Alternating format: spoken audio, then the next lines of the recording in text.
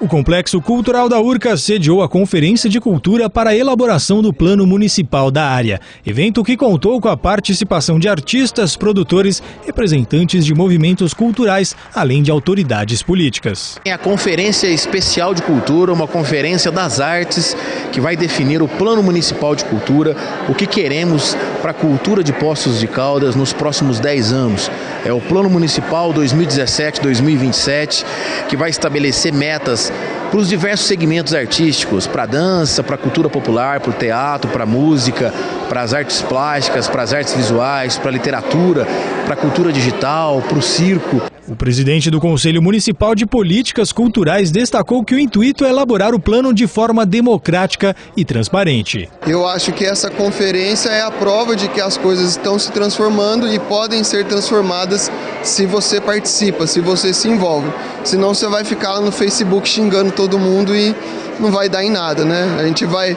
Nós não temos que cultivar uma, uma semente de ódio, uma semente de destruição, mas a gente tem que cultivar uma semente de amor, de solidariedade, de construção coletiva, né? construção colaborativa.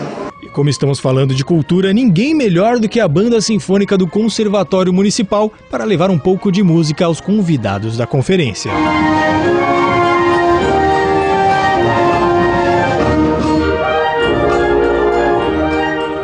O secretário estadual adjunto de Cultura, João Batista Miguel, participou do evento para falar sobre o Plano Estadual de Cultura. O Plano Estadual de Cultura é uma realização da Assembleia Legislativa de Minas Gerais, em parceria com a Secretaria de Estado da Cultura e o MINC, o Ministério da Cultura.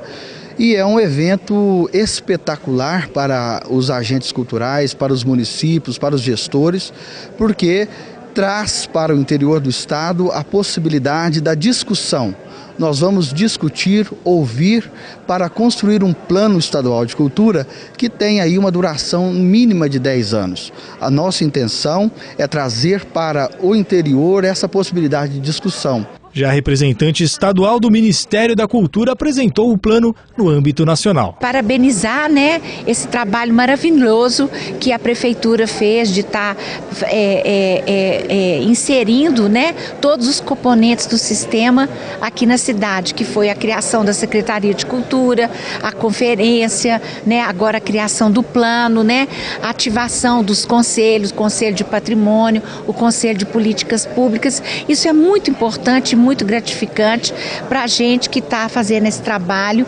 inserindo essa política pública no Brasil inteiro.